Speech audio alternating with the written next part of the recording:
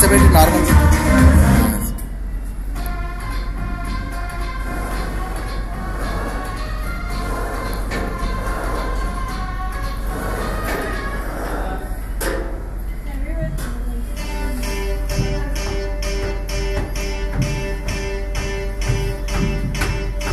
बात करो।